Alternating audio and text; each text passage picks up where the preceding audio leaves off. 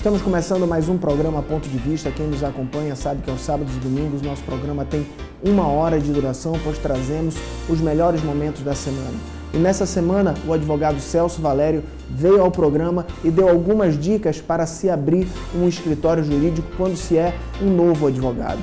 Nilson de Paula, presidente da Federação Amazonense de Tênis, também mostrou por que o amazonense tem um biotipo certo para a prática desse esporte tão amado pelo mundo afora. O vereador Mário Frota também nos mostrou um pouquinho do seu ponto de vista e seus projetos de trabalho, de campanha e que ele busca sempre honrar.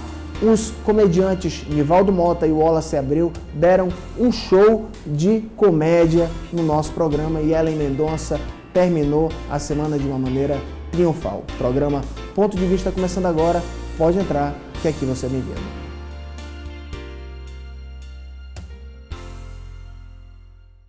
De volta com o programa Ponto de Vista, o entrevistado de hoje é meu amigo Celso Valério. Nós vamos falar um pouquinho sobre organização de escritório, já que os advogados não são muito preparados na faculdade, já que não estudamos administração para organizar o escritório. É o grande problema, na verdade, do advogado novo, né, Celso? Exato. Rodrigo, antes de nós é, adentrarmos é, no ponto central, né, que seria essa organização do escritório, como administrar um escritório, como você é, enfrentar essa carreira, é importante ter uma, um assunto preliminar no, no, período da faculdade, porque todos nós, e aqui não tem como haver uma exclusão, quando você está no quinto ano, você fica em dúvida sobre o seu futuro, né? E muitas vezes nós terminamos a faculdade com 23, 24, outras pessoas até com 21, 22 anos, cada vez mais jovens. Eu terminei e, com de 21 para 22. Então... Extremamente jovem. E imagina é, a cabeça, vamos colocar assim, ainda saindo da fase né, da, da adolescência para a fase adulta, na qual você vai assumir todas as suas responsabilidades. Então é natural quando você termina a faculdade de Direito, você é bacharel em Direito, você fica com essas dúvidas. E aí muita gente gente que eu digo assim, muitos bacharéis procurarão os seus caminhos.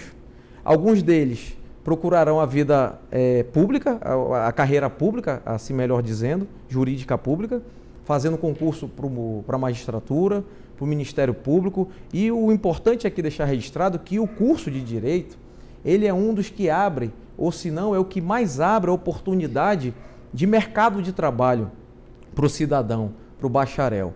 Ele pode fazer concurso também para defensor público, que hoje em dia tem melhorado muito as defensorias no Brasil inteiro, de um modo geral. A nossa defensoria aqui, inclusive, está com um certame aberto aí para, é, é, como é que se diz, preencher os, as vagas que estão em abertas para o interior inicialmente, depois essas pessoas rapidamente virão para a capital, com, diferentemente da, da carreira do promotor de justiça, que passa 10 anos, 15 anos, até 20 anos para vir para a capital, como na magistratura, porque a idade que você ingressa nessa atividade já é uma idade certamente avançada. E as pessoas que estão aí, até se aposentarem, galgarem as promoções e serem desembargadores, isso leva anos. E eles não se aposentam tão cedo, só com 70. A maioria vai pela compulsória, né, que a gente chama expulsória. expulsória o cara mesmo. só sai mesmo porque ele tem 70 anos, não aguenta mais, já está gagá, não tem condições de estar tá ali relatando processos.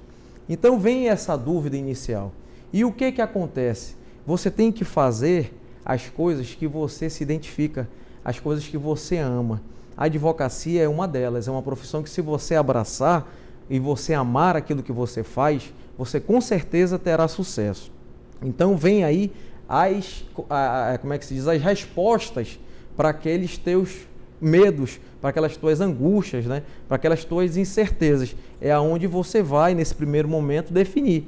Eu vou seguir e vou estudar. E hoje em dia, para passar no concurso, doutor Rodrigo, você sabe, está cada vez mais difícil, porque você vai concorrer com, é, é, com estudantes profissionais pessoas que estudam 8, 9, 10 horas por dia. Então, como é que um advogado vai concorrer com um estudante profissional por um concurso para magistratura, onde a nota de corte e o índice de qualificação dessas pessoas e de estudo é muito maior do que o de um advogado. Então, ali as coisas começam a se clarear. Né? É, e, tem, e tem mais aquela situação, como você disse, a pessoa está na faculdade, está com aquele medo, pô, mas agora eu vou para a prática.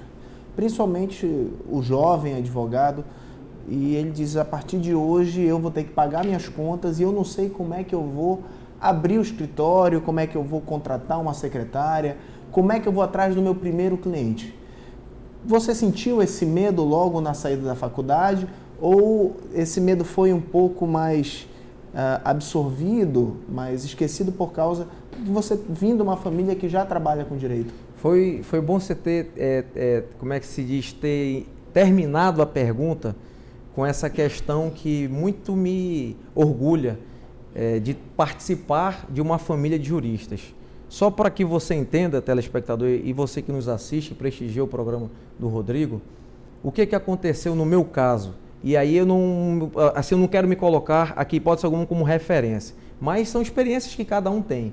No meu caso, o meu pai era advogado atuante na área de direito ambiental. Exatamente. E veio a falecer muito cedo, não tive a oportunidade de atuar nesta área. A minha mãe é advogada na área trabalhista. Eu, como a maioria dos acadêmicos de direito, é, me envolvi mais e, e, tinha uma matéria que me chamava mais atenção, que era a área penal, área de direito penal, porque era mais dinâmico, não sei se os professores eles eram mais dinâmicos na hora de passar o conteúdo, e você, eu acabei, no meu caso, me envolvendo mais com essa disciplina. E no início da minha carreira, embora é, seja filho de advogados, eu acabei indo para essa área que não tinha vinculação nenhuma com a atividade da, da minha mãe, é chamada doutora Francinete, é o que ela diz. Ele é meu sócio, aí por acaso é meu filho, não é inverso, ele é meu filho e por acaso virei sócio dela. Depois nós vamos falar como é que é o nosso trabalho no dia a dia, a nossa equipe lá no escritório, que é o ponto central. Então, por isso que eu disse que é importante você ter colocado no final esse detalhe para eu esclarecer aqui. Foi difícil, da mesma forma como é para qualquer um outro advogado. No caso, por exemplo, da minha mãe, ela teve que pegar a mesa por em cima da cabeça para abrir um escritório, o primeiro escritório dela, e ficar ali sentada esperando dias e dias até bater na porta dela uma pessoa que procure um advogado para ter um direito resguardado ou declarado pela justiça. E ela me contou o caso dela que foi um picolezeiro. Ela ficou sentada meses numa cadeira, todo dia ela ia para o escritório, abria o escritório 8 horas da manhã, ficava aproveitando essas horas ociosas, que hoje em dia não tem mais né, para o advogado, a maioria dos advogados, poucos têm tempo por causa dos prazos que nos consomem. Ela estava ali ociosa, ficava estudando, aproveitando para estudar, pesquisar. Na época não tinha internet, em meados do ano, dos anos de 70, né, quando ela se formou. E apareceu o primeiro cliente dela, que era uma questão de agrária e tudo, e foi quando ela foi é, se debruçar especificamente sobre aquele assunto. E teve essas dificuldades. Eu acabei também tendo essas dificuldades porque eu não fui para essa área. E depois verificando, é, por causa de circunstâncias de trabalhar nessa parte de delegacia, de como funciona essa área penal, eu acabei me desgostando e ela me convenceu de que eu deveria ir para a área trabalhista, na qual eu atuo até hoje. E acabaram se invertendo seus papéis porque ela é, era a pessoa que me orientava, era a pessoa que me estimulava. Hoje em dia ela está com 60 anos e, como ela diz, eu estou na flor da idade, desabrochando para a área jurídica. Ela acaba hoje em dia, eu até tenho que agradecer a tudo que existe no universo me consultando. Então isso para mim é muito gratificante. Não tenho palavras aqui para externar isso, mas a dificuldade ela é para todos. Seja você, acredito até, Rodrigo, só um parêntese, que às vezes é mais difícil você ter dentro da família um profissional da área, que você, é, é, é, como é que se diz, inevitavelmente acaba sendo comparado. Um dos grandes problemas dos advogados que eles acabam se perdendo na organização do escritório é na parte financeira, ou com pagamento de uma conta, ou esqueceu de arquivar um documento. Como é que está como é que tá essa situação? Primeiro, como é que ele se organiza para esses pagamentos e a guarda desses documentos principalmente hoje que sabemos que vários clientes recebem crédito e você tem um prazo legal para apresentar para o imposto de renda aquele documento, aquela documentação, porque o, imposto não esquece nunca, né? Do, do imposto você não foge, assim como também você não foge da morte. Rodrigo, eu penso que isso aí é o coração do escritório, a parte desse controle financeiro administrativo, porque a parte contenciosa ela acaba ficando com um tempo um pouco é, sistemática. você acaba criando uma tese, por exemplo, uma determinada empresa que você já presta um serviço e você fica adotando aquela tese e repetindo ela. Lógico, óbvio, sempre acompanhando as decisões dos tribunais superiores para adequá-la. Todavia, nessa parte administrativa, eu, eu acredito que ela é o coração do escritório. Vou te explicar por quê. No meu caso, eu comecei no escritório da minha mãe limpando o chão. Eu ia para lá quando criança e depois adolescente, ela diz: "Não, vocês vão para nas férias, óbvio, né? Quando estava estudando, então quando tinha horas vagas, ela não, vai todo mundo. trabalho infantil. É, ela chamava todo mundo para ir para o escritório para ajudar. Ia para a fila de banco, eu passava fax, eu limpava o banheiro, eu comecei a fazer os pagamentos de DARF, de guia de recolhimento para as empresas. Então, eu acho que essa base que você pega da parte administrativa e ter noção do que é isso, o trabalho que dá isso, fazer relatório. Eu te confesso uma coisa, hoje em dia eu não tenho mais saco para isso. Fazer relatório é um saco, mas é necessário, porque aí você passa a ter uma noção do todo. Você diz, olha, eu tenho tantos processos. Tu sabes às vezes quantos processos tu tens? Às eu hoje sei. Sabe.